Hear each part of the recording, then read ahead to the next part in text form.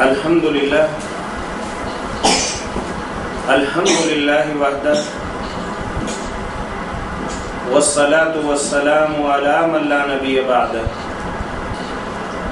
अऊज़ु बिल्लाहि समील अलीम मिनश शैतानिर रजीम। बिस्मिल्लाहिर रहमानिर रहीम। सूरा निसा पांचवा पारा और आयत नंबर एक सौ सोलह। यगफिरु अन युशरक बिही व यगफिरु मा दून ज़ालिका लिमन यशाअ व मन युशरिक बिल्लाहि फक़द दल्ल दलालन बईदा इन यदून मिन दूनिही इल्ला इनासा व इन यदून इल्ला शैतानन मरीदा लअनहुल्लाह व क़ाल लअत्तखिदन्न मिन इबादिका नसीबन मफरूदा मुअज़्ज़ज़ ख़ातिन हज़रात कुरान करीम का अहम तरीन मौजू।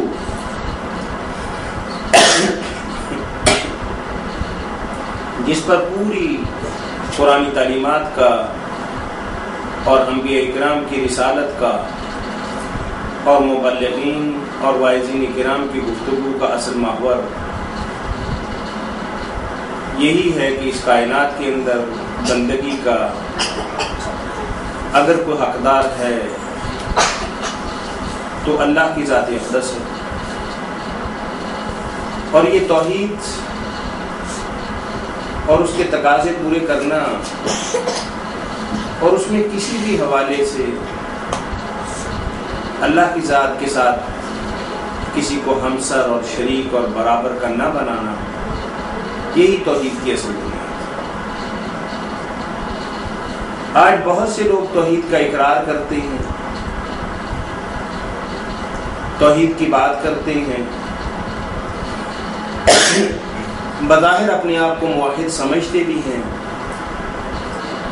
लेकिन अगर ईमानदारी से उनकी ज़िंदगी के मामूलात और मामलात का उनके नज़रियात और ख्याल को जांचा जाए, परखा जाए, टटोला जाए और देखा जाए तो इस नतीजे तक हम पहुँचते हैं कि उनका तोहहीद के साथ कोई ताल्लुक नहीं। अब ज़ाती तौर पर हम मुसलमान हैं। लेकिन इसके बावजूद पूरी कायनात के अंदर हमारे रवैये और हमारा तर्ज अमल हमारे इस अकीदे की नशी करता। है कितने ही मुसलमान हैं कि अपने आप को मुसलमान भी कहते हैं, लेकिन उनकी सुबहें और उनकी शामें और ज़िंदगी का तमाम तर अरसा जो है वो अल्लाह की बंदगी के बगैर गुजरता है। नमाज़ कोई ख़ास इसे अहमियत नहीं दी जाती। जब मन के अंदर आया, अदा कर ली गई। वक्त का भी कोई ख़ास अहतमाम नहीं किया जाता। और जब जी में आया तो नमाज़ जैसे हम फरीजे को छोड़ दिए। और बस अब आज के दौर के अंदर कुछ ज़ाहरी रस्में ऐसी रह गई हैं कि हम अपने आप को मुसलमान भी कहलवाते हैं मुहिद भी कहलवाते हैं। अब आप देखिए कि अस्पतालों के अंदर, शफाखानों के अंदर इलाज गाहों के अंदर कितने आदमी हैं कि जो बीमार हैं। अल्लाह से अपनी सेहत की दुआ ज़रूर करते हैं।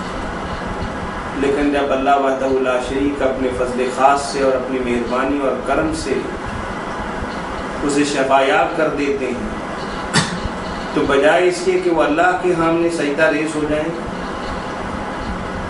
अल्लाह की बंदगी का फिर से इकरार करें और उसके हजूर शुक्राने के नवाफल अदा करें, किसी दरबार पे जाके बकरा ज़िबा करेंगे और किसी ऐसी ही जगह जाकर चार रुपए खर्च करके ये समझेंगे कि हमारी तोहीद पक्की है और हमारी तोहीद को कुछ नुकसान नहीं पहुँचा। और ऐसे ही अगर कोई आदमी किसी इम्तिहान के अंदर किसी मंजिल को सर कर लेता है, या किसी अच्छी जगह पर नौकरी मिल जाती है तो कौन सोचता है कि अल्लाह ही देने वाला है? अल्लाह ही अदा करने वाला, अल्लाह ही उसके दामन को भरने वाला और अल्लाह ही उसकी मुरादें पूरी करने वाला है। लेकिन नहीं, वो जाएँगे तो किसी पीर के दरबार पर, किसी कलंदर के मिजार पर, हिंदू देवी और देवता के दरबार के अंदर जाते हैं और हमारे लोग मुर्दों को पूजने वाले, मुर्दों से मुरादे मांगने वाले। ये जितने भी औलिया अल्लाह हैं, जितने भी पैगंबर और रसूल हैं, और जितनी भी बुज़ुर्ग और मोतबर हस्तियाँ हैं, इनके कमालत का हम इनकार नहीं करते। इनकी शहादत और खुशबख्तियों से हम इनकारी नहीं हैं। इनके इल्म फजल, मर्तबा और अल्लाह के यहाँ इनकी बुजुर्गी का हम यकीन एतराफ़ भी करते हैं और एहतराम भी करते हैं।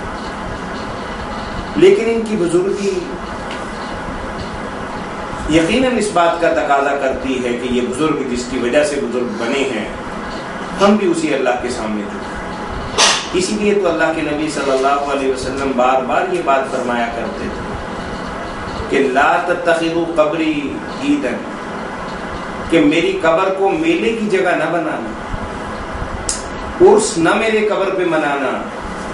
जैसे ये यहूद नसारा अपने अम्बिया की कब्रों पर और मुशरकिन मक्का बुज़ुर्गों की कब्रों पर, ये लात मनात उज़ा ये बड़े बड़े बुत थे। उनके सामने अपने माथे टेकते थे और ये समझते थे कि ये हमारी मुनाजात और हमारी गुजारिशात और हमारी अर्जियाँ अल्लाह के दरबार के अंदर पेश करते हैं।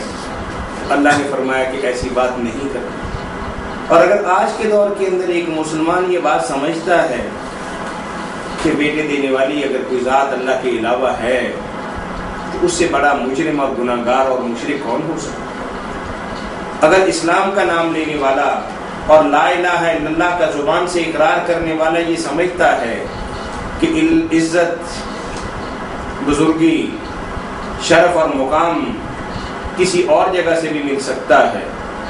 तो यकीन उसने अल्लाह की तोहहीद की नफी की इस्लाम तो एक बात का तकाजा करता है कि तमाम तर मबूदा ने बातिल की नफी कि कायनात के अंदर कोई पैगंबर का कितना ही मुतबर और मोहतरम क्यों ना कोई वली खा उसकी करामात से बेशुमार किताबें भरी पड़ी हों और पूरी दुनिया उसके गीत गाती हो और उसकी अजमत का एतराफ़ करती हो, उनके हाथ के अंदर अल्लाह ताला ने कोई चीज़ नहीं। हर चीज़ तो अल्लाह के कब्ज़ कुदरत के अंदर है। लहू मकालिदुस्समावाति वल अर्ज़। तो इज्जो मन तशाओ व तो दिल्लो मन तशाओ बेकादिकल खैर। अल्लाह ही के कब्जा कुदरत के अंदर हर चीज़। अगर आपको कायनात के अंदर इज़्ज़त मैसर है तो ये अल्लाह ही की अता। अगर आप अपने कदमों पर खड़े हैं, अपनी आँखों से देखते और अपने कानों से सुनते हैं तो यकीन अल्लाह की मेहरबानी आपके साथ। अगर अल्लाह ना करे, अल्लाह की आपकी बिनाई ले जाए किसी हादसे के अंदर तो कौन है कि इस बिनाई को वापस कर सकता अल्लाह ने मुशरकी ने मक्का के बारे में और मुशरकों के बारे में फरमाया कि ये जो बड़े बड़े दावे करते हैं, एक मक्खी तो पैदा करके दिखा। चले, अल्लाह कहते हैं कि मक्खी पैदा करना शायद इनकी बस की बात ना ये बहुत बड़ा एक काम है जो इनसे सरजद नहीं हो सकता। तो चले थोड़ी सी तकलीफ़ करें कि इनके खाने पे मक्खी बैठी और कोई थोड़ा सा खाना। जो शायद दूरबीन से या खुर्दबीन से देखा जा सकता है, उठा के इनके खाने में से ले गया। अब किसके अंदर ताकत है कि मक्खी ये खाना इनका जो उठा के ले गई है, इसको वापस ला सकती यानी अल्लाह वहदा शरीफ ने यह बात फरमाई है कि इस कायनात के अंदर, निज़ाम चलाने के अंदर और कायनात की ज़िम्मेदारी संभालने के अंदर, न मुझे ऊँट है, न मुझे नींद है, न मुझे थकावट है, न कोई परेशानी है। और न ही ऐसा है कि अल्लाह को कोई बताएगा तो अल्लाह के इलम के अंदर बात आएगी। हमने कल भी अर्ज़ किया कि अल्लाह ने हमें समझाने के लिए किरामन कातबीन का एक निज़ाम मुकर किया, फरिश्ते मुकर कर दिए कि वो आएँगे और तुम्हारे नामा अमाल अल्लाह के सामने पेश करेंगे। तो क्या अल्लाह को नहीं पता? अल्लाह हर बात को जानने वाला है, लेकिन चूँकि इंसान दस्तावेजात का मुतालबा कर सकता तो और बात कर सकता है। तो अल्लाह वहदल्ला शरीक ने इन गवाहों को हमारे ऊपर लगाया। वरना कायनात का जर्रा जर्रा, इस कायनात के अंदर गिरने वाला पत्ता का किसी व्यापार जंगल के अंदर ही हो, अल्लाह वहदा शरीक के इलम के और फिर अल्लाह ने एक बात फरमा दी कि देखो, तुम मेरे गुलाम हो, मेरे बंदे हो, मेरे अहकाम के मुताबिक तुमने ज़िंदगी बसर कर और ये तुमने मेरे साथ वादा किया हुआ कि अलस तो रबी को कालू बना। जब सारी रूहें अल्लाह ने आसमान पर इकट्ठी करके उनसे पूछा था, क्या मैं तुम्हारा परवरदिगार नहीं हूँ? तो तुम सबने बता की ज़ुबान एक बात कही थी कि भला सोचा भी नहीं जा सकता कि आपके अलावा कोई हमारा रब हो सकता है वो हमारा पालनहार हो सकता है, कोई और बंदगी के लायक है तो अब अल्लाह कहते हैं कि इस बात का तकाजा है कि तुमने अपने आप को मेरे स्पुर्द कर वमा खलकतुलजिन्न वल इंसा लियाबुदून। कि तुम्हारी तकलीफ़ तो सिर्फ़ इसीलिए हुई कि तुम अपने गले के अंदर रस्सी डाल के मेरे हाथ के अंदर पकड़ा दो। मैं जहाँ बैठने का हुक्म दूँ, वहाँ बैठ दो जहाँ खड़े करने की बात हो तो तुम खड़े हो जाओ। और जहाँ चलने का हुक्म दूँ तो अपने कदमों को आगे बढ़ाओ। और जहाँ रुक जाने की बात करूँ तो अपने कदमों को तुम रोक लो। और जिस जगह देखने की बात करूँ तो तुम देखो, और जहाँ सुनने की बात करूँ तो तुम सुनो, और जहाँ देखने से मना करूँ, सुनने से मना करूँ, चलने से और पकड़ने से मना करूँ, आप देखिए कि रमदान मुबारक का जब महीना आता है तो अल्लाह वहदा शरीक ने एक वक्त मुकर फरमा दिया कि आप खाने को हाथ भी नहीं लगाना। तुम्हारी हसीनो जमील बीवी तुम्हारे सामने है, बुरी नज़र से इसकी तरफ़ नहीं देखना और आपका अपना कमाया हुआ रिस्क, हलाल का रिस्क जो है अपने पैसों का कमाया हुआ। अल्लाह कहते कि इसको नहीं। एक नवाला भी अगर तुम्हारे मुँह के अंदर चला गया तो ये मेरे निज़ाम के साथ, मेरे हुक्म के साथ बगावत हो। और फिर अगर तुमने दानिस्ता एक रोज़ा छोड़ा, फिर पूरी ज़िंदगी खा तुम्हारी सत्तर साल, अस्सी साल, पचास साल, साठ बरस की हो, तुम सारी ज़िंदगी रोज़े के अंदर रखो, एक रोज़े का कफारा नहीं और फिर अल्लाह ने फरमा दिया कि एक वक्त मुकर्रा आएगा कि गुरूब आफ्ताब के साथ ही हम तुम्हें हुक्म देते हैं कि खाओ। अगर कोई आदमी कहता है कि मैं दो घंटे बाद खाऊँगा, मेरा मन नहीं चाहता। मेरा दिल नहीं चाहता, मैं अब खाना नहीं चाहता। तो अल्लाह कहते हैं, अब खाना पड़ेगा अब लाजिम है कि तुम्हारे ऊपर, तुम्हारे मुँह के अंदर कोई एक आध नवाला जाना चाहिए। पानी का एक घूट तुम्हारे हलक से नीचे उतरना चाहिए। थोड़ी देर पहले अल्लाह कह रहे हैं कि अगर तुम्हारे हलक से एक कतरा पानी कभी तुम्हारे हलक से उतरा तो तुम्हारे नामा अमाल खारत होगा तो मुखालफों के अंदर और दुश्मनों के अंदर तुम्हारा शुमार होगा और अल्लाह के नाराज़ बंदों के अंदर तुम्हारी नाराज़ लेकिन अब अल्लाह वहदहुल्ला शरीक करें कि मेरा हुक्म आ गया कि अल्लाह अकबर की आवाज़ आते ही तुम्हारे हलक से कोई ना कोई चीज़ नीचे उतरनी चाहिए।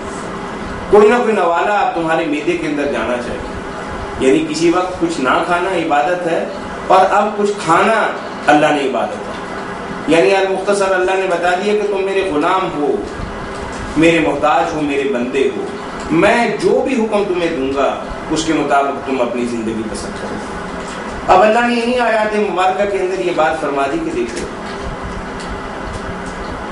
गुलामों से गलतियाँ भी होती कोताहियाँ भी होती जराइम भी सरजद होते हैं, लफ्जें भी होती हैं, कोताहियाँ भी होती अगर तोहीद के अलावा शिरक नहीं किया अल्लाह के साथ किसी को हमसर और साथी नहीं ठहराया।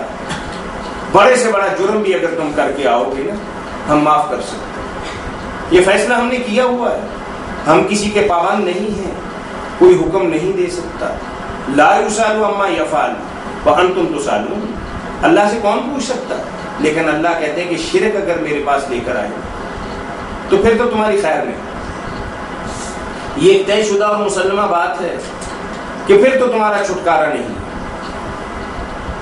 हमेशा के लिए दोजख के अंदर और जहन्नम के अंदर मरोगे, गलोगे, सड़ोगे और तुम्हारी ज़िंदगी भी खत्म नहीं। तुम्हारा जो जाहरी लिबादा है, ये गल सड़ जाएगा, फिर और लिबादा चढ़ा दिया फिर गल सड़ जाएगा, फिर और लिबादा चढ़ा दिया और ये अमल जारी और सारी रहेगा। और एक ना खत्म होने वाली ज़िंदगी तुम्हारा मुकदम लेकिन अगर तुम गुलाम अपने आप को समझते हुए लेकिन ये जुर्म नहीं किया कि अल्लाह के साथ बगावत कर अल्लाह के साथ किसी और को साझीदार ठहरा लिया तो अब तुम्हारी बख्शिश का सामान हो सकता नमाज़, रोजा है जक़ात सदका तो खैरात और दीगर इस्लाम के जो अहकाम हैं, उसके अंदर कोई कमी, कोताही, सुस्ती या लग्जिश हो गई तो अल्लाह कहते कि हम चाहेंगे तो माफ़ फरमाया फरमाया कि अपने दुश्मन को पहचानो, हम बार बार तुम्हें कहते हैं।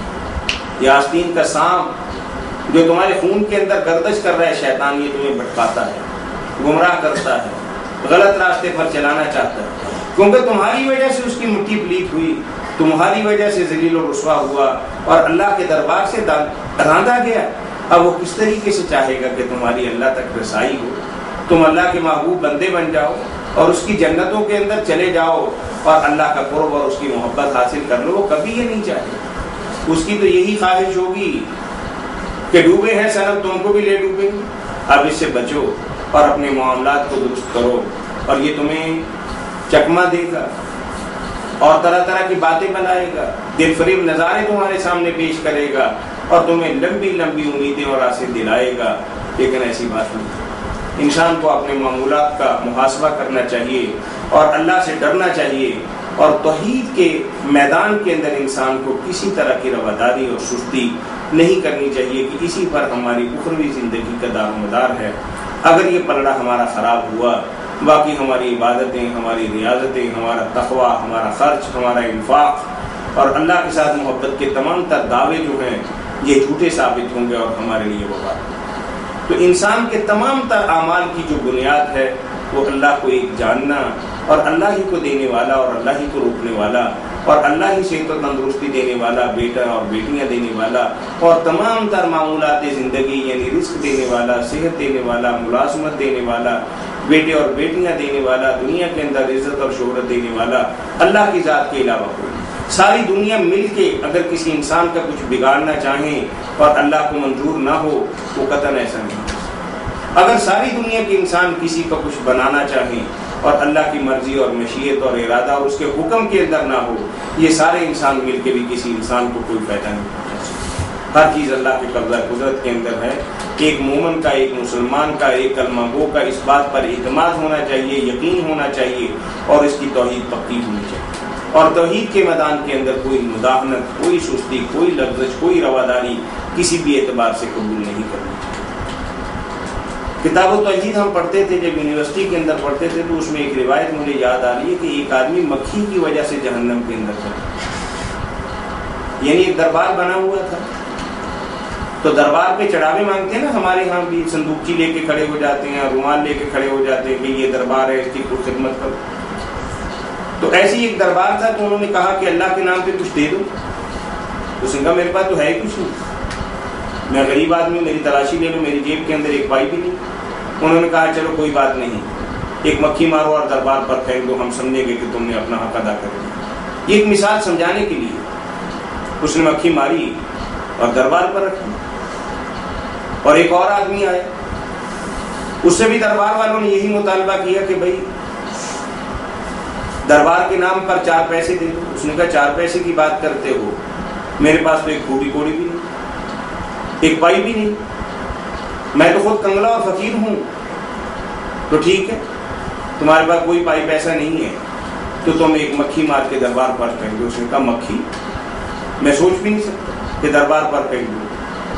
कोई भी कुर्बानी किसी भी तरह की, अल्लाह की ज़ात के अलावा उन्होंने उस इंसान को मार दिया। तो जिस इंसान ने मक्खी का चढ़ावा चढ़ाया, अल्लाह ने उसे जहन्नम के अंदर और जिस इंसान ने मक्खी को चढ़ावा, हालाँकि हराम चीज़ है उसके चढ़ावा चढ़ाने से इनकार किया, अल्लाह ने उसे जन्नत के अंदर चढ़ा कि तोहीद एक ऐसी चीज़ है कि अगर किसी इंसान की वो कमज़ोर है, तमाम तर चीज़ें जो हैं वो उसके बाद अल्लाह के साथ एक ताल्लक, अल्लाह के साथ एक रब इस बात का तकाजा करता है कि इंसान ये समझे कि पूरी दुनिया, आज जो मुसलमान कभी अमेरिका से डरते हैं, कभी रूस से डरते हैं, अब रूस टुकड़े टुकड़े हो गया और अमेरिका अभी तक हमारे सर पे बैठा अल्लाह बार बार कहते कि ऐलान करो कि अल्लाह अकबर, इस कायनात के अंदर मुझसे बड़ी कोई ताकत नहीं मुझसे डरो, मैं ही तुम्हारे मसाइल हल करने वाला। हम अपने ईमान की कमज़ोरी की बिना पर हमारे हुक्मरान अमेरिका की कासालेसी करते हैं, यूरोप के पीछे भागते और वो हमें जलील करके,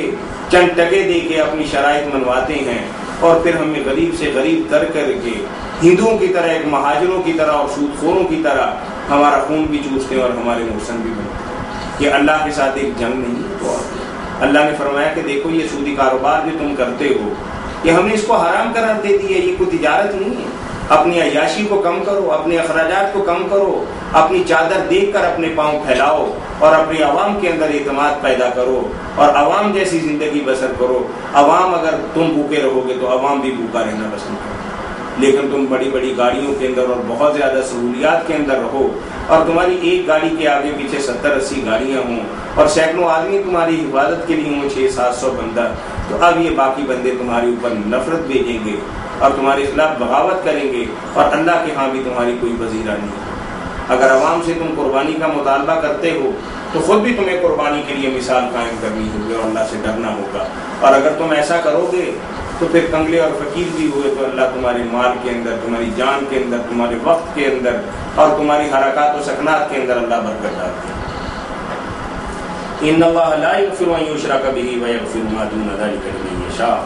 अल्लाह ने यह फैसला कर दिया कि शिरक नहीं बख्शा जाए। शिरक के अलावा जो चीज़ें हैं, वो अल्लाह की मर्ज़ी और उसके इरादे पर मुनसर हैं कि बसा एक आदमी ने जुर्म किया और बहुत अरसा नेकियाँ करता रहा, अल्लाह माफ़ फरमा एक आदमी ने जुर्म किया और उसके बाद बहुत ज़्यादा नवाफल और सरकार अदा करता रहा, अल्लाह दरगुदर फरमा। एक आदमी ने जुर्म किया और फ़ौरन जुर्म के बाद अल्लाह की बारगाह के अंदर झुक गया तो अल्लाह ने उसे दरगुदर फरमा लिया। या दो चार दिन की सजा के बाद या जो भी अल्लाह ने उसके लिए मुकदर किया हुआ है, अल्लाह ताला उसको माफ़ फरमा देंगे, ये यकीनी बात है। एक मुसलमान को अपने दिल और दिमाग के अंदर ये बात रखनी चाहिए कि शेर अगर उसने नहीं किया, बाकी कितना ही बड़ा जुर्म क्यों ना किया हो, उसकी बख्शिश हो सकती है, उसकी उम्मीद की जा सकती है। जिसने शिरक किया, उसके पास तो कुछ भी नहीं। वो तो गमराह हो गया, रास्ते से भटक गया। ये अल्लाह को छोड़कर देवियों को बुलाते हैं। ये लात मनात उज्जा, ये लड़कियों के नाम थे, औरतों के नाम थे, और वो फरिश्तों के नाम पे उन्होंने रखे हुए और समझते थे कि फरिश्ते अल्लाह की बेटियाँ हैं। वही यादूना शैतान नरीदा ये लातो मनात को पुकारने वाले ये पीरो फकूर की जय पुकारने वाले दर हकीकत शैतान के मुरीद हैं। लाना अल्लाह की रहमत से दूर हो गए। वकाल इबाद का नसीब और शैतान अल्लाह की रहमत से इतना दूर हो गया तो अल्लाह के मुँह लग गया कि मेरा भी फ़र्ज़ है कि मैं इन लोगों के मुँह लगूँगा और जन्नत जिसकी तरफ़ ये जाना चाहते हैं। और ये अल्लाह जिसकी खुशनूदी के लिए ये तलबगार हैं, मैं इनके रास्ते के अंदर दीवार बना बनूँगा। वाला उजिल्लन्ना हूँ मैंने गुमराह करूँगा, वाला उमनियन हूँ मैंने उम्मीदें दिलाऊँगा दिलासा दूँगा लंबे लंबे इनके मंसूबे बनाऊँगा, वाला आमरन्ना हूँ मैं हुक्म दूँगा, वाला बत्तिकुन आदान अनाम ये जानवरों के कान काटेंगे, ये कटा हुआ जानवर फला दरबार के लिए, फला दरगाह के लिए, और फला देवी और देवता के लिए, और फला मंदिर के लिए, और फला जो है, जगह के लिए इसकी भेंट चढ़ाई जाएगी।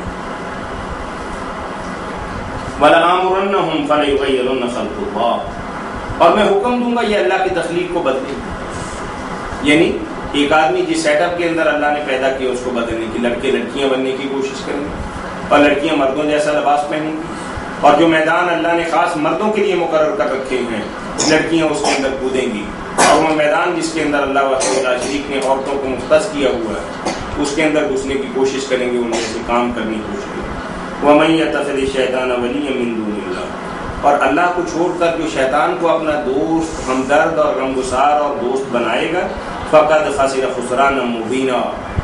उसकी गुमराही के अंदर तो कोई शक नहीं। है वो उनसे वादा भी करता है और उन्हें दिलासा भी देता है। लंबी लंबी उम्मीदें उनकी बनवाता है।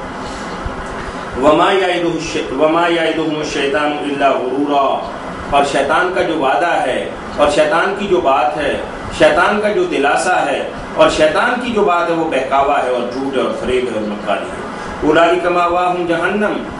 ये दोजख का ईंधन बनेंगे। वला यदूना अनहा महीसा। और उससे निकलेंगे नहीं। ना कोई इन्हें निकाल सकता है, ना इनका कोई पुष्टिवान है, ना इनका हमदर्द है, ना गमगुसार है, ना इनका साथी है, और ना इनका कोई तरफदार वल्लदीन आमन वामिलसालिहात नेक काम करने वाले और ईमान लाने वाले नेक अमाल करने वालों के लिए जन्नतें और मेवे और बागात हमने तैयार कर रखे हैं, जिसमें नहरें बहती होंगी। दो चार दिन की ज़िंदगी नहीं, खालिदीन फीहा अबदा। हमेशा के लिए उसके अंदर रहेंगे। वाद अल्लाह हक। वमाना हदीसा। ये वादा कौन कर रहा है? कि जिससे बढ़कर इस कायनात के अंदर कोई सच्चा नहीं वो अल्लाह वदउला शरीफ की ज़ाती अकदस है। वमन असदमिन अल्लाह कीला। और अल्लाह से बढ़कर कोई खरी, सच्ची और पक्की बात करने वाली कोई हस्ती नहीं। लेसर अमानी कुम वला अमानी अहल किताब। अहले किताब की तमन्नाएँ और आरजुएँ और उम्मीदें और उनके दावे, उसकी भी कोई हैसियत नहीं। मैं अमल सुवन युजा भी और जो बदामालियाँ करेगा, सदा पाएगा। और मुजरम क़यामत के दिन अल्लाह के अलावा किसी को मदद के लिए भी नहीं पुकारेगा कि वो जानता है कि अल्लाह के अलावा कोई उसकी जान छोड़ने वाला नहीं उसकी कोई रहनुमाई करने वाला नहीं वही अमल मिन सालिहात और नेक अमल करने वाला मर्द हो या औरत हो और वो अल्लाह पर ईमान रखने वाला हो फउलाइक यदखुलून जन्नत और जन्नत के अंदर दाखिल किए जाएँगे और जरा बराबर उन पर जुल्म और ज्यादती नहीं वमन असनुद्दीन मिमन असलम लिल्लाह। उससे बढ़कर किसका दीन हो सकता? जो अल्लाह के लिए अपने चेहरे को झुका दे और बंदगी के लिए अल्लाह की ज़ात को पसंद कर ले और माथा उसके लिए ज़मीन पर टेक दे। वह हुआ मुहसिन मलहसान। का अंता अबुदुल्लाह का अन्ना का तरा अल्लाह की कुछ इस अंदाज से बंदगी करना कि तुम अल्लाह को देख रहे हो। यानी पूरे खलूस के साथ, खुशबू के साथ और पूरी ज़िम्मेदारी के साथ और एक एहसास के साथ अल्लाह की बारगाह के अंदर खड़े होना। व तब इब्राहिम। अब अल्लाह अचानक अपने एक महबूब और प्यारे और खलीद का नाम ले रहे। इनको चाहिए कि इब्राहिम का तर्ज अमल इख्तियार करें। इब्राहिम भी आखिर इनकी बस्ती का रहने वाला। इन्हीं जैसा एक इंसान था। और मेरे साथ उसका क्या ताल्लक था? इब्राहिम और इब्राहिम को तो अल्लाह ने अपना जिगरी दोस्त बनाया हुआ। यानी अल्लाह ताला उसके साथ इतना प्यार करते थे कि खलवत की बातें और मोहब्बत की बातें और इल्का की बातें और न जाने क्या कुछ अल्लाह वदउल्ला शरीक इब्राहिम और पूरी कायनात के अंदर इब्राहिम सलाम को जो इज़्ज़त और इहतराम और मुकाम दस्तियाब है, वो कायनात के अंदर किसी और पैगंबर बहुत मादरत के साथ लाखों, करोड़ों, अरबों लोग हैं कि जो अल्लाह के नबी सल्लल्लाहु अलैहि वसल्लम की नबूवत का, रिसालत का और पैगम्बरी का इनकार करने वाले, यानी खुद देख लीजिए कि इस कायनात के अंदर सबसे ज़्यादा तादाद आज के दौर के अंदर, बुतों के पुजारियों के बाद ईसा सलाम के मानने वालों की है। लेकिन वो नबी करीम सल्लल्लाहु अलैहि वसल्लम की नबूत और रिसालत का इनकार करते हैं। यहूद को उनकी तादाद थोड़ी है, लेकिन पूरी दुनिया पर छाए हुए हैं। वो अल्लाह के नबी सल्लल्लाहु अलैहि वसल्लम को पैगंबर और रसूल नहीं मानते। लेकिन इसके बावजूद इब्राहिम खलीलुल्लाह को कहते हैं, हमारे और नसारा भी यही बात कहते कि इब्राहिम खलीलुल्लाह हमारे हैं, और मक्के वाले भी यही मुनादी किया करते थे कि इब्राहिम अलैहिस्सलाम हमारे अलमुख्तसर कहने की बात यह कि अल्लाह कहते हैं कि इब्राहिम जो हमारा दोस्त था, हमारा प्यारा था, हमारा साथी था, हमारा उसके साथ बेपना ताल्लक था, और उसने हमारे साथ जो ताल्लुक बनाया पूरी कायनात के अंदर हमने उसकी हस्ती को एक उसवा हसना के तौर पर इंट्रोड्यूस करवाया और मुतारफ करवाया और पूरी कायनात के अंदर सबसे ज़्यादा जो लोग प्यार करने वाले हैं, वो इब्राहिम अलैहिस्सलाम की अल्लाह कहते हैं कि मेरी बंदगी नहीं करोगे तो किसकी बंदगी करोगे? कौन है मालिक? मैं ही हूँ। जो जमीनों को और आसमान को और जर्रे जर्रे का मालिक हूँ। और इसीलिए तुम्हें हुक्म दे रहा हूँ कि मेरे सामने सर झुकाना है। मेरी ताकत देखो, मेरा मर्तबा और मुकाम देखो। और जो कुछ तुम कर रहे हो, ये इस बात का तकादा करता है कि तुम अल्लाह को अल्लाह मानते हो। वकान अल्लाह मुहीता और जो कुछ भी तुम करते हो, अल्लाह हर बात को घेरने वाला, देखने वाला, समझने वाला है। तो दुआ करनी चाहिए कि अल्लाह ताला हमें तोहहीद के तकाजे पूरे करने की तोफ़ी बनाए फरमाए। व आखिर दावाना